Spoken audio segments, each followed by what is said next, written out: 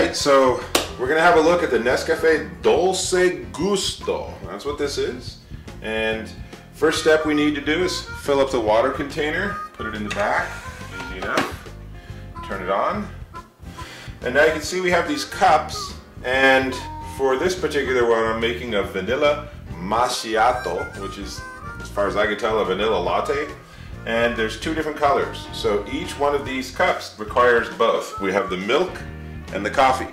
So we'll do the milk first. A little tray comes out. Put that in. Put it in here. And that punctures it, so now it's ready to roll. Put our cup in. And as you can see, as I move the dial up and down, it gives you different adjustments for the quantity. That looks good. Push the button, and I'm doing this in real time so you can see how quickly it goes. It's already got boiling water coming out, which I think is pretty fabulous. It's really actually quite fast. And it's about here, working its way up.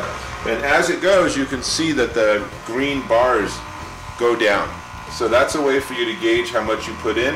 And here's something I've found from experimentation is that you can always go and do a little more. So in fact, I don't know that this is enough. So what I'll do, give it a couple seconds,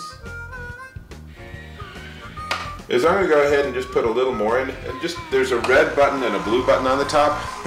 Frankly, I don't know what the blue button does. I haven't used it yet. Maybe it's room temperature water. But the red button gives you hot water. And whenever you're done, you can just say, done, stop. So now I'm halfway through my latte already. So now, open this up, pull out the little cup, and I have to say one of the things I don't like about this is that these aren't recyclable. So now this is the coffee half of it. Um, I wish they were, because I do feel like there's a lot of waste involved. But now we have the coffee. Again, I'll do the same thing. So the milk is actually up to about here. And to me, a latte should be more milk than coffee. So that's where we are. And now the coffee is starting to drip out. You can see that. And we have the same thing with the bars going down. And this runs me about a buck. So for $9, you get 16 of these little cups. With some of the beverage mixes, you actually end up, oh, looks like we're perfect on timing. With some of the beverage mixes, you end up with 16 different cups, like an espresso. But with other ones where it requires two of these little guys, then you actually use two per cup, so it's actually eight cups and they're nine bucks at the market. So it's eh, about a dollar ten or so.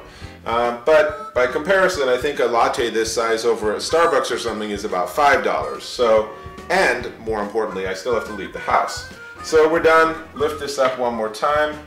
And here's our cup of coffee. Very nice, and I actually quite like this. And one other thing that I don't know if you get from just seeing ads or something is that if you don't have anything in here, if this is just empty, you can just get boiling water out instantly. So it's really good for making cups of tea. And I suppose we could buy little gizmos for that, but tea is really cheap, and frankly, I live really close to a tea plant, so I can get tea incredibly inexpensively. So being able to get the water instantly is great. One other comment that I'll make about this is that if this runs out of water, move the cup out of the way. If this runs out of water, it just flashes, so it's really kind of hard to know that's what the error is.